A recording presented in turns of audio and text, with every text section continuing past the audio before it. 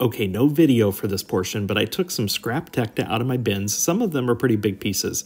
And I dusted at a very high level some copper carbonate, a very thin layer of copper carbonate powder. You can get this at a variety of different places. I picked mine up on eBay and uh, dusted and then capped it. And what you get are these trapped, beautiful, aqua looking bubbles that just are gorgeous. Now, very little goes a long way. You see I got a little thick there in the upper right corner on that one piece.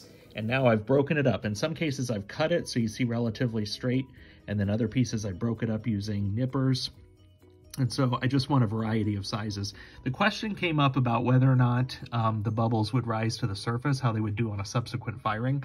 I've never had problems with it other than if I have a really large bubble that's kind of close. And so here's a perfect example of where I got a little heavy on the powder. It created a pretty big bubble and that bubble is fairly close to the surface. So that one might actually pop.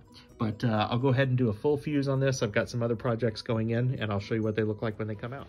And now here they are. Again, isn't that color just great? I mean, these are so much fun. So you can see how they came out, different shapes and sizes. The bubbles all stayed trapped within. I don't have problems where uh, the bubbles might have been on the edge. There's just a, I mean, a, a little bit of a interruption on the edge there, but that never bothers me. Uh, I think they look great.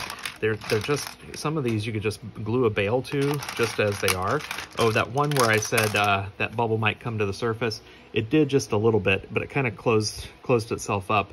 Uh, some larger bubbles formed but still, really cool piece. Uh, here's the copper carbonate. This is the one that I happen to have. I bought this on Amazon, a couple, excuse me, eBay a couple years ago. Uh, but I know you can get copper carbonate at even just, you know, ceramic supply houses. So you might just call around or uh, look online. This four ounce bottle is going to last me forever. I bought these a couple of years ago. Um, and, uh, you know, I'm not maybe a halfway through. So Anyway, a little bit goes a long way. Beautiful, beautiful color.